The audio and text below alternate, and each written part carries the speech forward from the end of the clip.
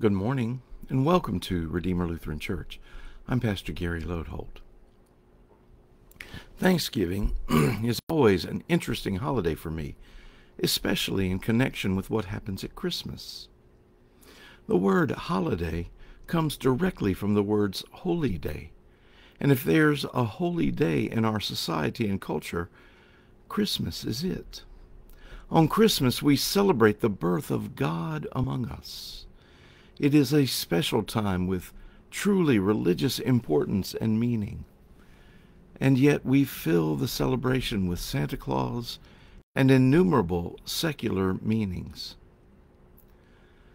Things get interesting when I compare that with Thanksgiving, which technically is a secular holiday infused with lots of religious meaning.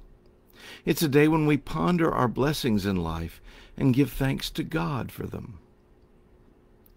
The juxtaposition of those two has often perplexed me. So, this week of Thanksgiving, I'm simply sharing some sermons I have written that were given at various Thanksgiving worship services over the years. Here's one I called Amazing Grace. We were looking for a sedate ride.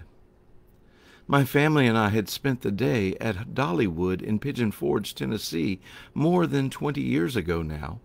And while Dollywood back then was not the most thrilling of theme parks, it was enough for us when my children were small. In fact, I remember it as the day that one of my children rode his first adult roller coaster. So after that, it was time to find something a little more calm to settle our nerves. And that's when we saw the train. Described as a short ride out to appreciate the beauty of the mountains, I suspected that somewhere along the way we'd have an Indian or outlaw attack, and sure enough we did. My boys loved it. But then on the way back in, they stopped the train in the middle of a meadow Sitting there, the people around us talked and chatted, and maybe because I have pastor's ears, I noticed it quickly. As we sat in that meadow looking up at the beautiful, majestic, strong mountains framed against an azure sky, they were playing music from the speakers over our heads. I don't know who the singer was, maybe Dolly Parton, but it was just the singer's voice there were no instruments accompanying as she sang.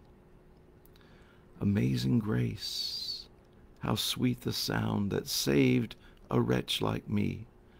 I once was lost, but now am found, was blind, but now I see. Verse by verse she went on, and that's when the most amazing thing happened. Slowly, over the course of a few minutes.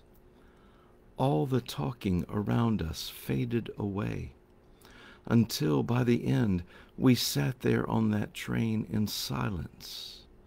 All of us, enraptured by the grace of God's creation and the grace of God's love for us.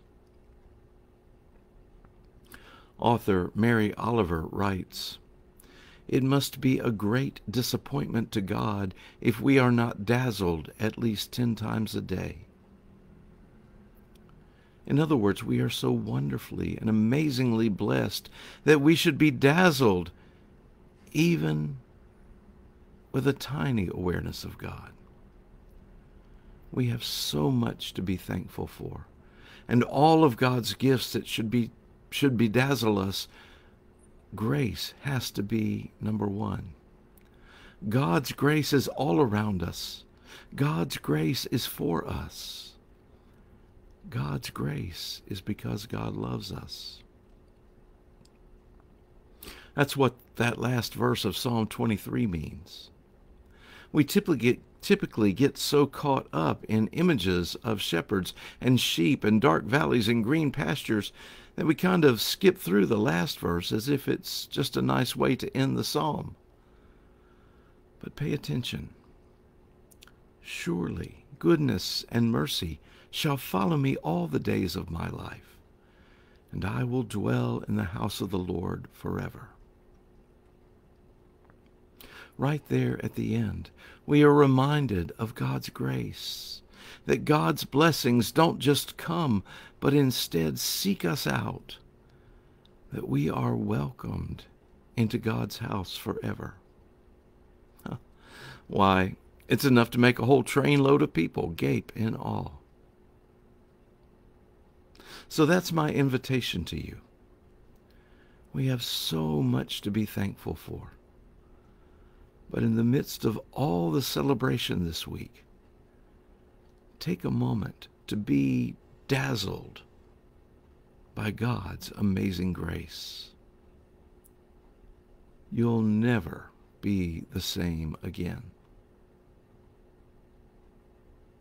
Thanks for watching, and remember to let this day belong to God.